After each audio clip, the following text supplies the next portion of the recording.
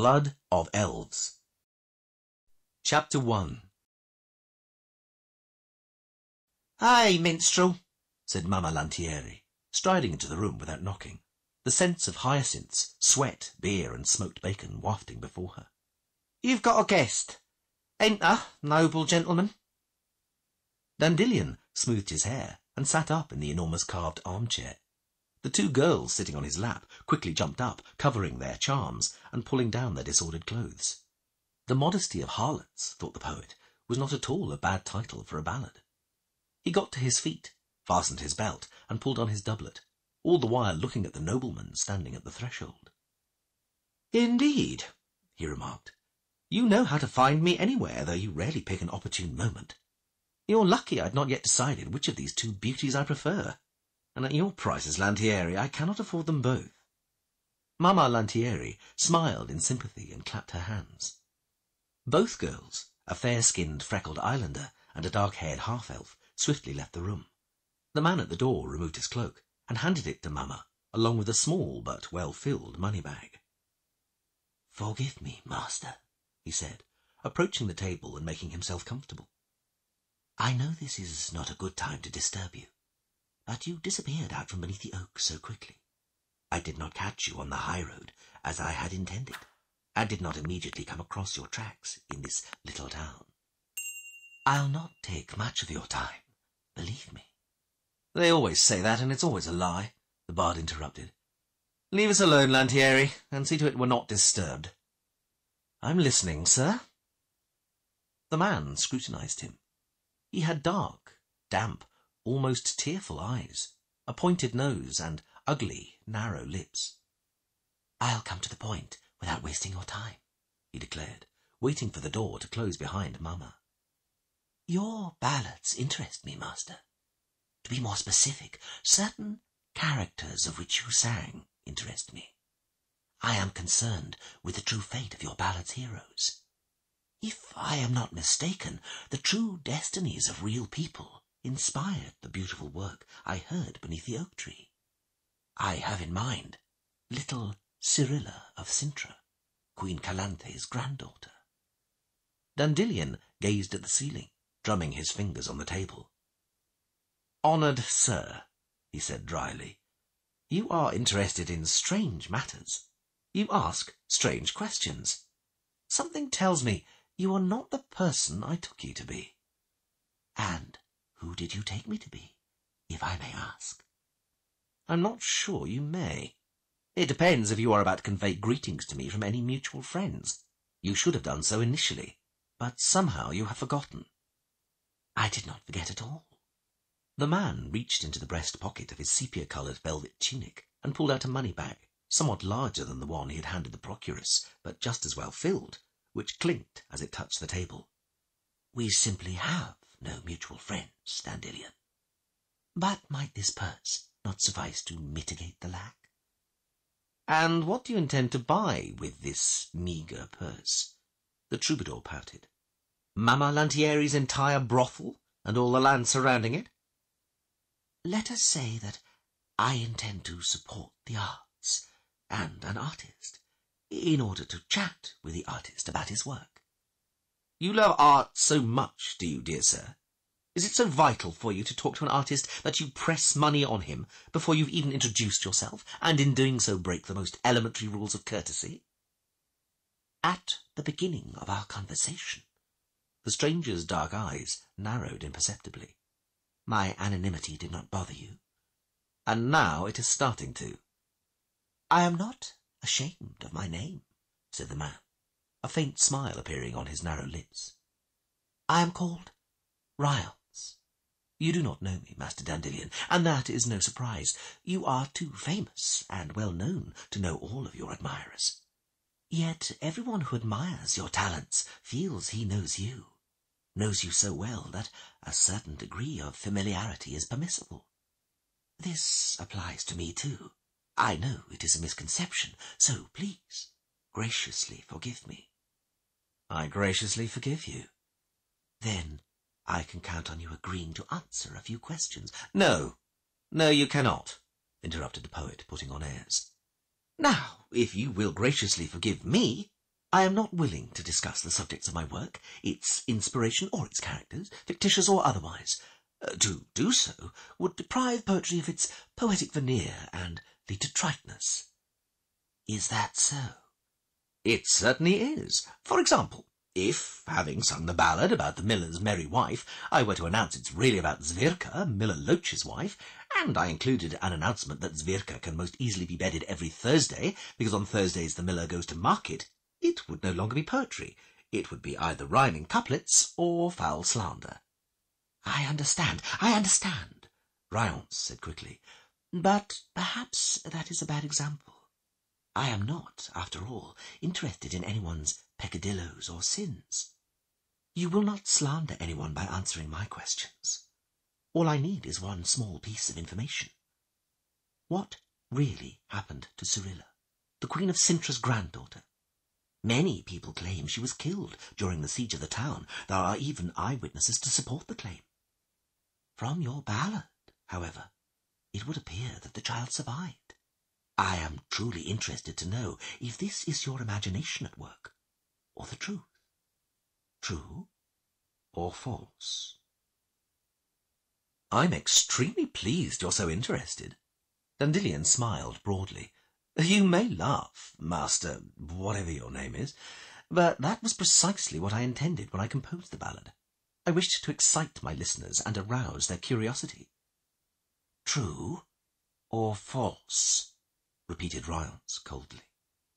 If I were to give that away, I would destroy the impact of my work. Goodbye, my friend. You have used up all the time I can spare you, and two of my many inspirations are waiting out there, wondering which of them I will choose. Rience remained silent for a long while, making no move to leave. He stared at the poet with his unfriendly, moist eyes, and the poet felt a growing unease. A merry din came from the bawdy house's main room, punctuated from time to time by high-pitched feminine giggles. Dandelion turned his head away, pretending to show derisive haughtiness, but, in fact, he was judging the distance to the corner of the room and the tapestry showing a nymph sprinkling her breasts with water poured from a jug. Dandelion. Rience finally spoke, slipping his hand back into the pocket of his sepia-coloured tunic. Answer my questions. Please. I have to know the answer. It's incredibly important to me. To you, too, believe me. Because if you answer of your own free will, then... Then what? A hideous grimace crept over Rience's narrow lips. Then I won't have to force you to speak. Now listen, you scoundrel. Dandelion stood up and pretended to pull a threatening face. I loathe violence and force, but I'm going to call Mamma Lantieri in a minute, and she will call a certain Grutzilla, who fulfills the honourable and responsible role of bouncer in this establishment. He is a true artist in his field. He'll kick your ass so hard you'll soar over the town roofs with such magnificence that the few people passing by at this hour will take you for a Pegasus. Rience made an abrupt gesture, and something glistened in his hand. Are you sure, he asked, you'll have time to call her? Dandelion had no intention of checking if he would have time, nor did he intend to wait. Before the stiletto had locked in Rience's hand, Dandelion had taken a long leap to the corner of the room, dived under the nymph tapestry, kicked open a secret door, and rushed headlong down the winding stairs, nimbly steering himself with the aid of the well-worn banisters. Rience darted after him, but the poet was sure of himself. He knew the secret passage like the back of his hand, having used it numerous times to flee creditors, jealous husbands, and furious rivals, from whom he had, from time to time, stolen rhymes and tunes. He knew that after the third turning, he would be able to grope for a revolving door, behind which there was a ladder leading down to the cellar. He was sure that his persecutor would be unable to stop in time, would run on, and step on a trapdoor through which he would fall and land in the pigsty. He was equally sure that, bruised, covered in shit and mauled by the pigs, his persecutor would give up the chase. Dandelion was mistaken, as was usually the case whenever he was too confident. Something flashed a sudden blue behind his back, and the poet felt his limbs grow numb, lifeless and stiff. He couldn't slow down for the revolving door. His legs wouldn't obey him. He yelled and rolled down the stairs, bumping against the walls of the little corridor. The trapdoor opened beneath him with a dry crack, and the troubadour tumbled down into the darkness and stench. Before thumping his head on the dirt floor and losing consciousness, He remembered Mamma Lantieri saying something about the pigsty being repaired. The pain in his constricted wrists and shoulders, cruelly twisted in their joints, brought him back to his senses. He wanted to scream, but couldn't. It felt as though his mouth had been stuck up with clay. He was kneeling on the dirt floor, with a creaking rope hauling him up by his wrists. He tried to stand, wanting to ease the pressure on his shoulders, but his legs too were tied together. Choking and suffocating, he somehow struggled to his feet, helped considerably by the rope which tugged mercilessly at him. Rience was standing in front of him, and his evil eyes glinted in the light of a lantern held aloft by an unshaven ruffian who stood over six feet tall. Another ruffian, probably no shorter, stood behind him. Dandelion could hear his breathing and caught a whiff of stale sweat. It was the reeking man who tugged on the rope looped over a roof beam and fastened to the poet's wrists. Dandelion's feet tore off the dirt floor. The poet whistled through his nose, unable to do anything more. Enough! Rience snapped at last. He spoke almost immediately, yet it had seemed an age to Dandelion. The bard's feet touched the ground, but, despite his most heartfelt desire, he could not kneel again. The tight drawn rope was still holding him as taut as a string. Rience came closer. There was not even a trace of emotion on his face. The damp eyes had not changed their expression in the least. His tone of voice, too, remained calm, quiet, even a little bored. You nasty rhymester, you runt, you scum, you arrogant nobody. You've tried to run from me. No one has escaped me yet. We haven't finished our conversation, you clown, you sheep's head. I asked you a question under much pleasanter circumstances than these. Now you are going to answer all my questions, and in far less pleasant circumstances. Am I right? Dandelion nodded eagerly. Only now did Rience smile and make a sign. The bard squealed helplessly, feeling the rope tighten and his arms twisted backwards, cracking in their joints. You can't talk, Rience confirmed, still smiling loathsomely. And it hurts doesn't it? For the moment, you should know I'm having you strung up like this for my own pleasure, just because I love watching people suffer. Go on, just a little higher. Dandelion was wheezing so hard he almost choked. Enough! Rience finally ordered, then approached the poet and grabbed him by his shirt ruffles. Listen to me, you little cock. I'm going to lift the spell so you can talk. But if you try to raise your charming voice any louder than necessary, you'll be sorry. He made a gesture with his hand, touched the poet's cheek with his ring, and Dandelion felt sensation return to his jaw, tongue, and palate. Now, Rience continued quietly, I'm going to ask you a few questions, and you're going to answer them quickly, fluently, and comprehensively. And if you stammer or hesitate even for a moment, if you give me the slightest reason to doubt the truth of your words, then look down. Dandelion obeyed. He discovered to his horror that a short rope had been tied to the knots around his ankles, with a bucket full of lime attached to the other end. If I have you pulled any higher, Rience smiled cruelly, and this bucket lifts with you, then you will probably never regain the feeling in your hands. After that, I doubt you will be capable of playing anything on a lute. I really doubt it. So, I think you'll talk to me. Am I right? Dandelion didn't agree, because he couldn't move his head or find his voice out of sheer fright. But Rience did not seem to require confirmation. It is to be understood, he stated, that I will know immediately if you are telling the truth.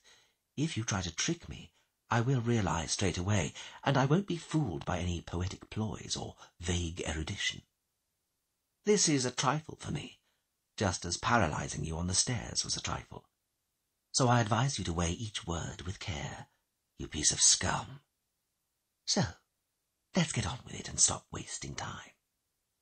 As you know, I'm interested in the heroine of one of your beautiful ballads, Queen Calanthe of Cintra's granddaughter. Princess Cirilla, endearingly known as Ciri. According to eyewitnesses, this little person died during the siege of the town two years ago. Whereas in your ballad you so vividly and touchingly described her meeting a strange, almost legendary individual, the Witcher, Geralt or Gerald. Leaving the poetic drivel about destiny and the decrees of fate aside from the rest of the ballad, it seems the child survived the Battle of Cintra in one piece. Is that true? I don't know, moaned Dandelion. By all the gods! I'm only a poet. I've heard this and that, and the rest. Well? The rest I invented. Made it up. I don't know anything. The bard howled on seeing Rience give a sign to the reeking man and feeling the rope tighten. I'm not lying. True. Rience nodded. You're not lying outright. I would have sensed it. But you are beating about the bush.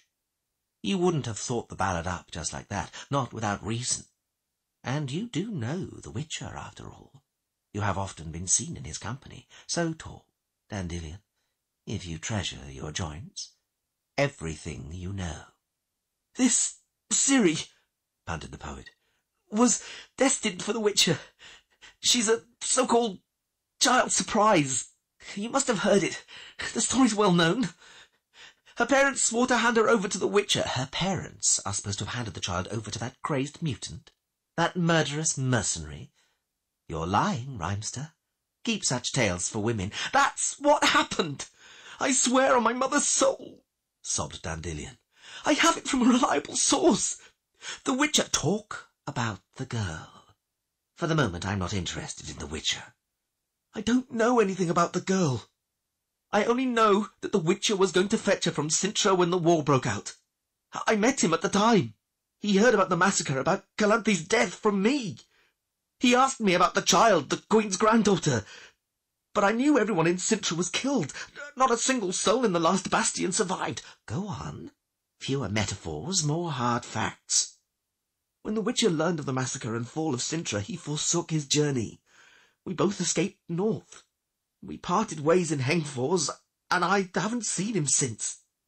But because he talked on the way a bit about this Ciri, or whatever her name is, and about destiny, well, I made up this ballad. I, I don't know any more, I swear. Rience scowled at him.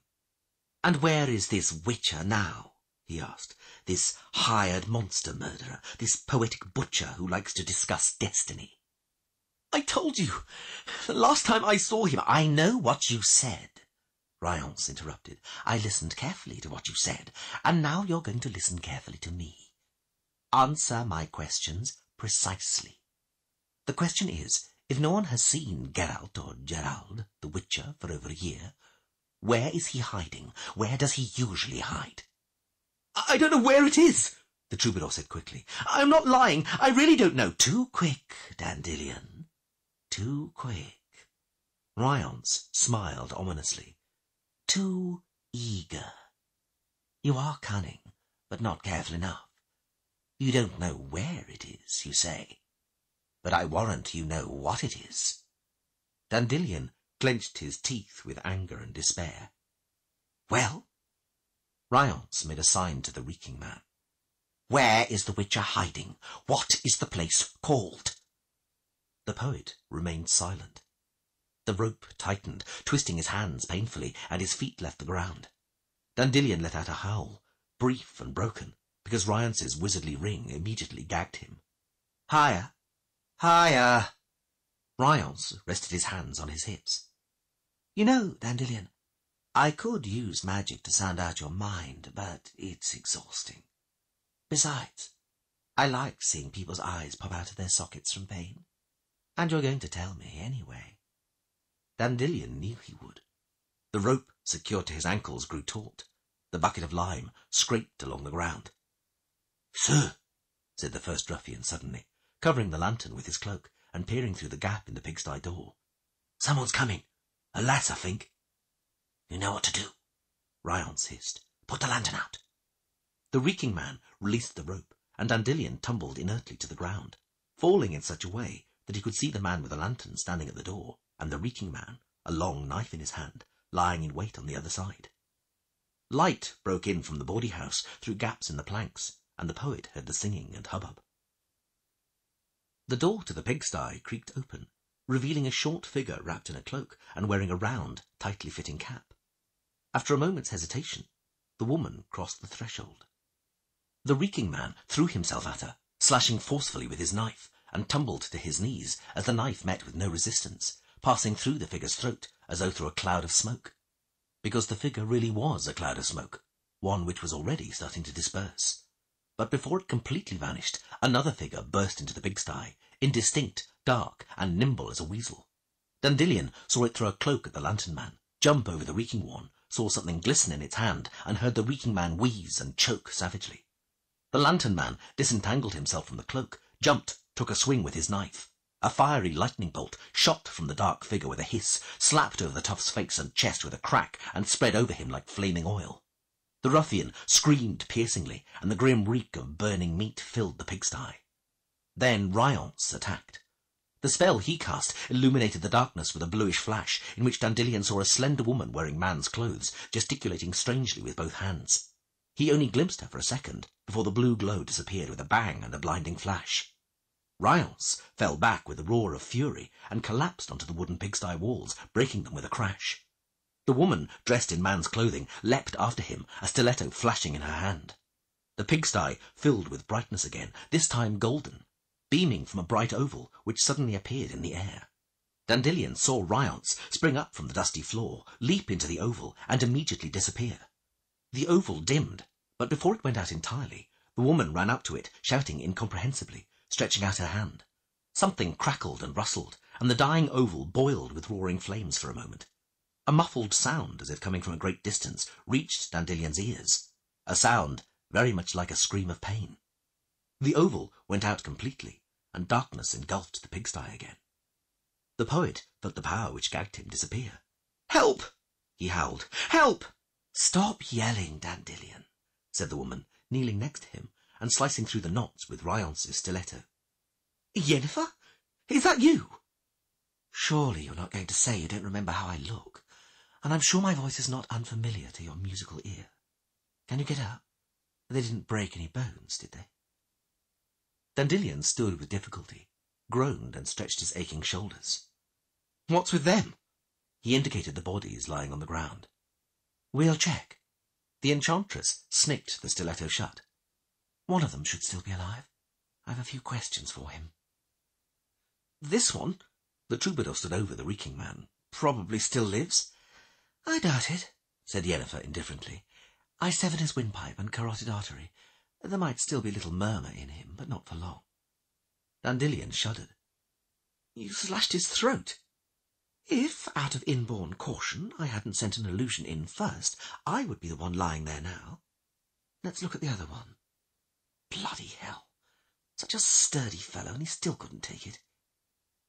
Pity, pity. He's dead too. He couldn't take the shock. Hmm. I fried him a little too hard. See, even his teeth are charred. What's the matter with you, Dandelion? Are you going to be sick? I am, the poet replied indistinctly, bending over and leaning his forehead against the pigsty wall.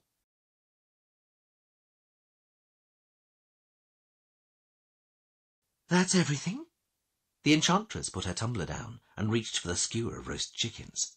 You haven't lied about anything, haven't forgotten anything. Nothing, apart from thank you. Thank you, Yennefer. She looked him in the eyes and nodded her head lightly making her glistening black curls writhe and cascade down to her shoulders. She slipped the roast chicken onto a trencher and began dividing it skilfully. She used a knife and fork. Dandelion had only known one person up until then who could eat a chicken with a knife and fork as skilfully. Now he knew how and from whom Geralt had learnt the knack. Well, he thought, no wonder. After all, he did live with her for a year in Vengerberg, and before he left her, she had instilled a number of strange things into him. He pulled the other chicken from the skewer, and without a second thought, ripped off a thigh and began eating it, pointedly holding it with both hands. How did you know? he asked. How did you arrive with help on time? I was beneath Bleobheris during your performance. I didn't see you. I didn't want to be seen. Then I followed you into town. I waited here in the tavern. It wasn't fitting, after all, for me to follow you into that haven of dubious delight and certain gonorrhea. But I eventually became impatient and was wandering around the yard when I thought I heard voices coming from the pigsty. I sharpened my hearing, and it turned out it wasn't, as I'd first thought, some sodomite, but you. Hey, innkeeper, more wine, if you please. Uh, At your command, honoured lady. Quick as a flash. Uh, the same as before, please, but this time without the water. I can only tolerate water in a bath. In wine, I find it quite loathsome. Uh, at your service. At your service. Yennefer pushed her plate aside. There was still enough meat on the chicken, Dandelion noticed, to feed the innkeeper and his family for breakfast. A knife and fork were certainly elegant and refined, but they weren't very effective. Thank you, he repeated, for rescuing me. That cursed Rience wouldn't have spared my life. He'd have squeezed everything from me and then butchered me like a sheep. Yes, I think he would. She poured herself and the bard some wine, then raised her tumbler. So, let's drink to your rescue and health, Dandelion. And to yours, Yennefer, he toasted her in return. To health, for which, as of today, I shall pray whenever the occasion arises. I'm indebted to you, beautiful lady, and I shall repay the debt in my songs.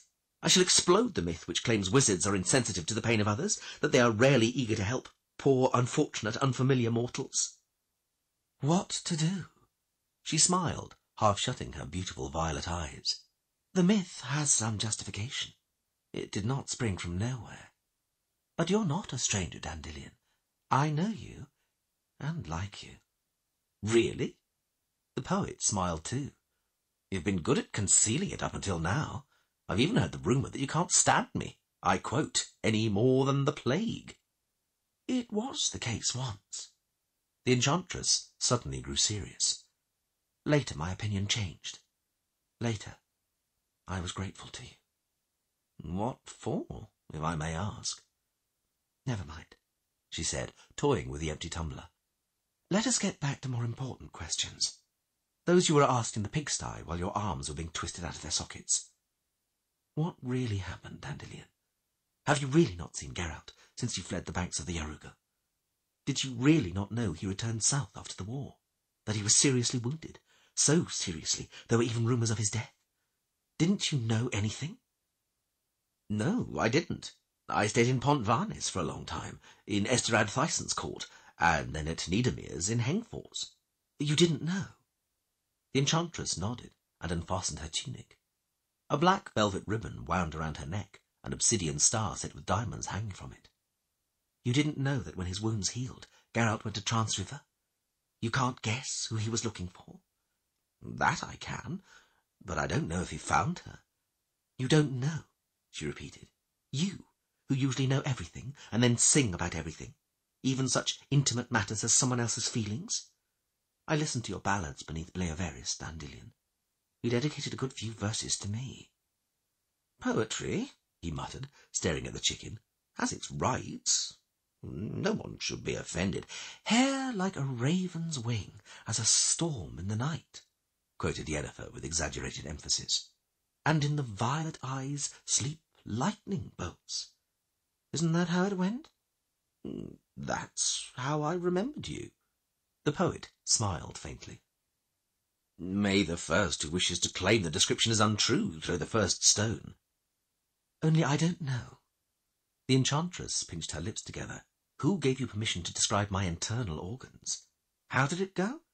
Her heart as though a jewel adorned her neck? Hard as if of diamond made, and as a diamond so unfeeling.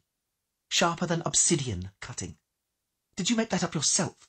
Or perhaps... Her lips quivered, twisted.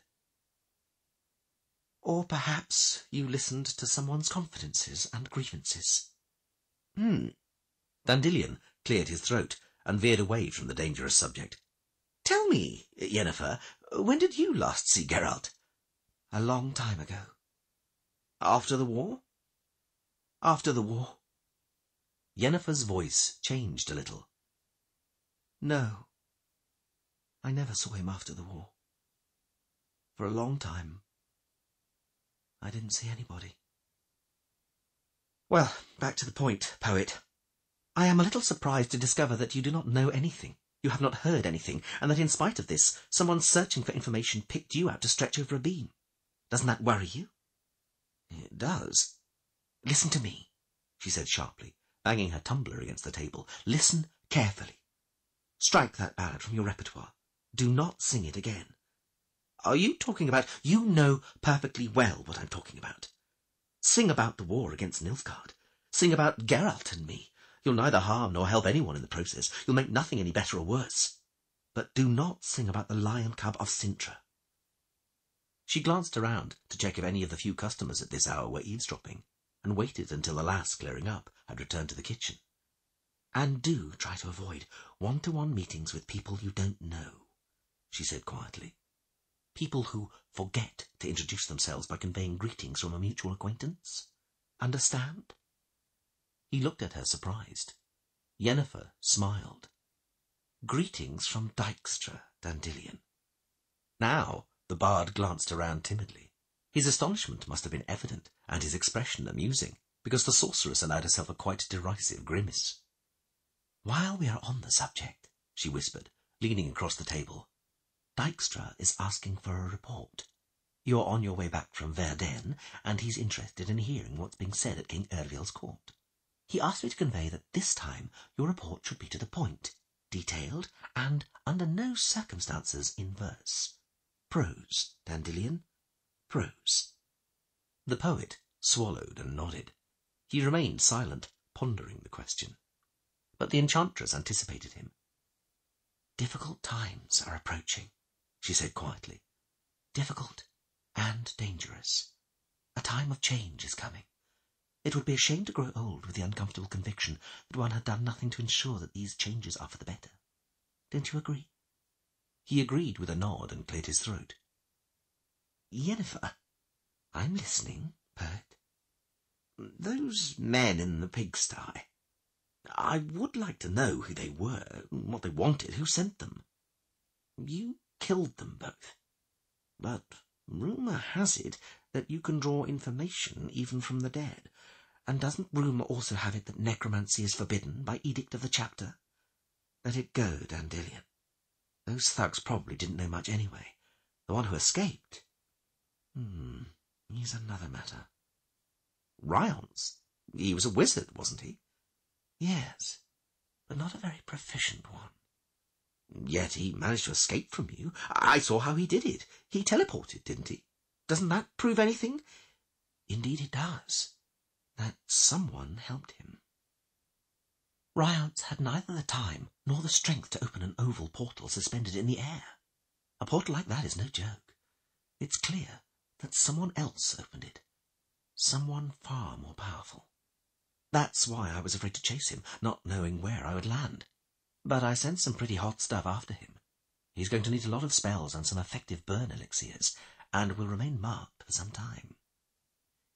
Maybe you will be interested to hear that he was a Nilfgaardian. You think so?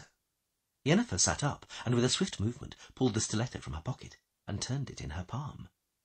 A lot of people carry Nilfgaardian knives now. They're comfortable and handy. They can even be hidden in a cleavage. It's not the knife. When he was questioning me, he used the term battle for Cintra, conquest of the town, or something along those lines. I've never heard anyone describe those events like that. For us, it has always been a massacre. The massacre of Cintra. No one refers to it by any other name. The magician raised her hand, scrutinized her nails. Clever, Dandelion. You have a sensitive ear. It's a professional hazard. I wonder which profession you have in mind. She smiled coquettishly, but thank you for the information. It was valuable. Let it be, he replied with a smile, my contribution to making changes for the better. Tell me, Yennefer, why is Nilfgaard so interested in Geralt and the girl from Cintra? Don't stick your nose into that business. She suddenly turned serious. I said you were to forget you ever heard of Calanthe's granddaughter. Indeed you did. But I'm not searching for a subject for a ballad. What the hell are you searching for, then? Trouble? Let's take it, he said quietly resting his chin on his clasped hands and looking the enchantress in the eye.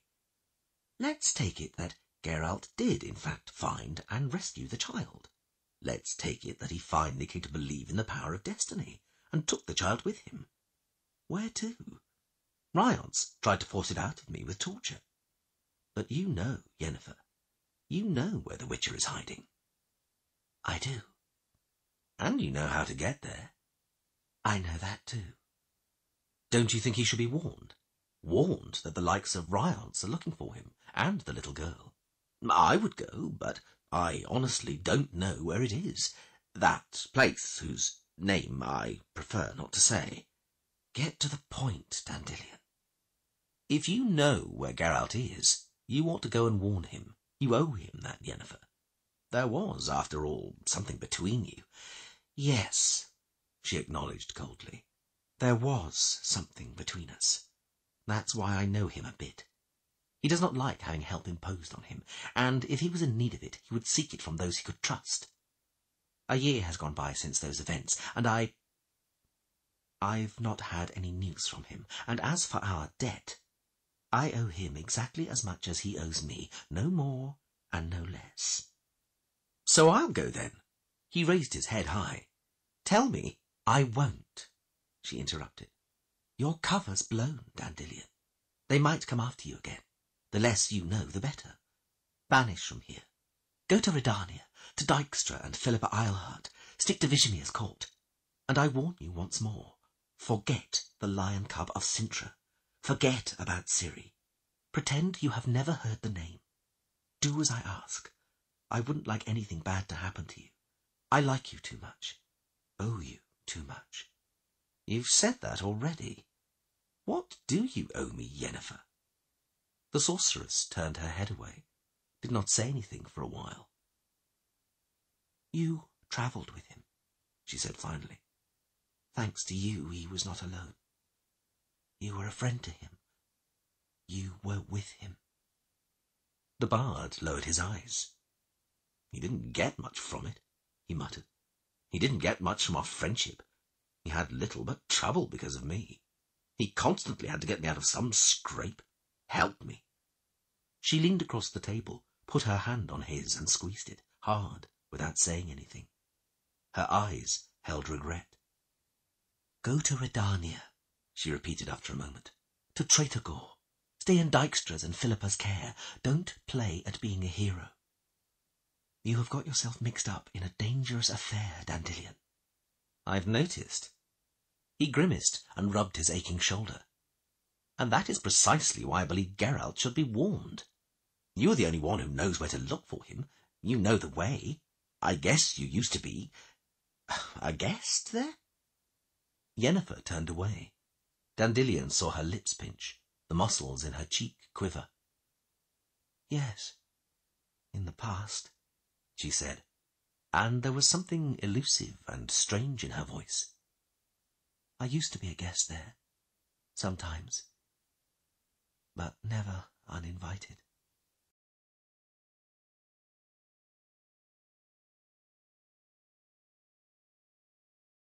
The wind howled savagely, rippling through the grasses growing over the ruins, rustling in the hawthorn bushes and tall nettles. Clouds sped across the sphere of the moon, momentarily illuminating the great castle, drenching the moat and few remaining walls in a pale glow, undulating with shadows, and revealing mounds of skulls baring their broken teeth and staring into nothingness through the black holes of their eye sockets. Ciri squealed sharply and hid her face in the witch's cloak. The mare, prodded on by the witch's heels, carefully stepped over a pile of bricks and passed through the broken arcade. Her horseshoes, ringing against the flagstones, awoke weird echoes between the walls, muffled by the howling gale. Ciri trembled, digging her hands into the horse's mane. I'm frightened, she whispered. There's nothing to be frightened of, replied the Witcher, laying his hand on her shoulder. It's hard to find a safer place in the whole world. This is Kaer Morhen, the Witcher's Keep. There used to be a beautiful castle here, a long time ago. She did not reply, bowing her head low. The Witcher's mare, called Roach, snorted quietly, as if she too wanted to reassure the girl. They immersed themselves in a dark abyss, in a long, unending black tunnel, dotted with columns and arcades. Roach stepped confidently and willingly, ignoring the impenetrable darkness, and her horseshoes rang brightly against the floor. In front of them, at the end of the tunnel, a straight vertical line suddenly flared with a red light. Growing taller and wider, it became a door beyond which was a faint glow, the flickering brightness of torches stuck in iron mounts on the walls. A black figure stood framed in the door, blurred by the brightness. Who comes? Ciri heard a menacing metallic voice, which sounded like a dog's bark. Geralt? Yes, Eskel. It's me. Come in. The Witcher dismounted, took Ciri from the saddle, stood her on the ground, and pressed a bundle into her little hands, which she grabbed tightly, only regretting that it was too small for her to hide behind completely. Wait here with Eskel, he said. I'll take Roach to the stables. Come into the light, laddie, growled the man called Eskel. Don't lurk in the dark.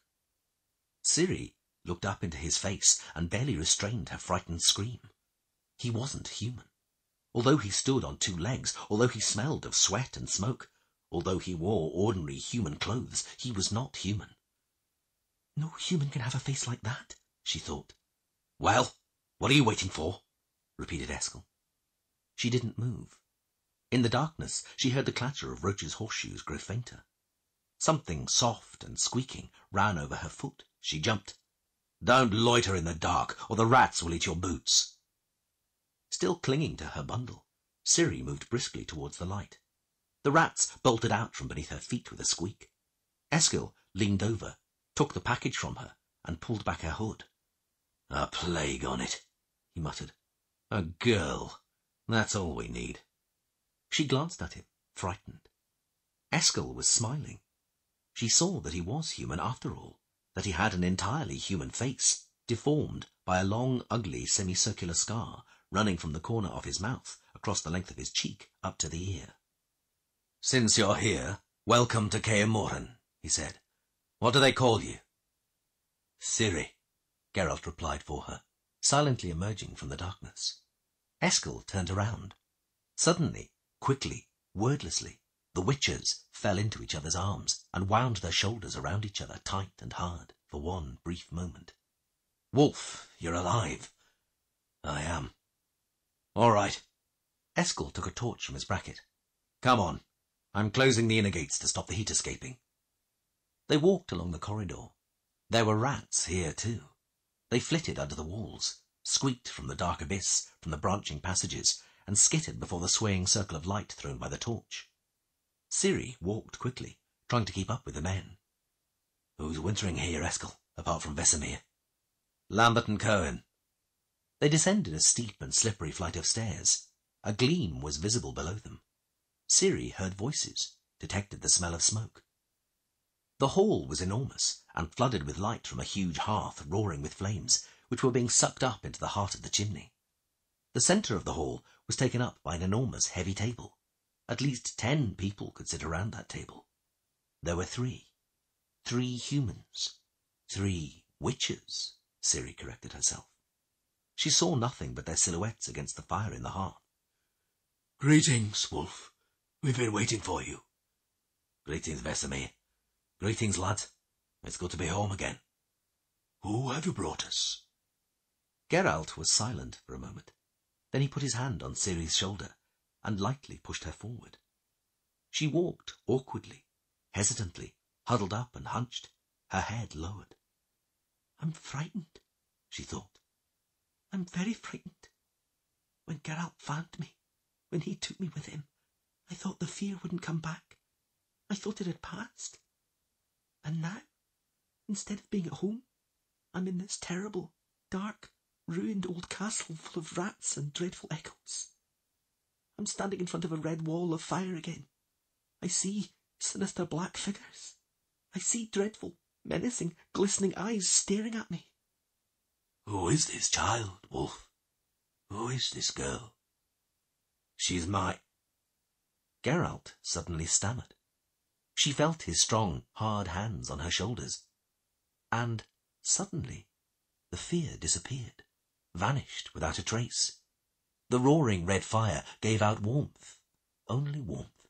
The black silhouettes were the silhouettes of friends, carers.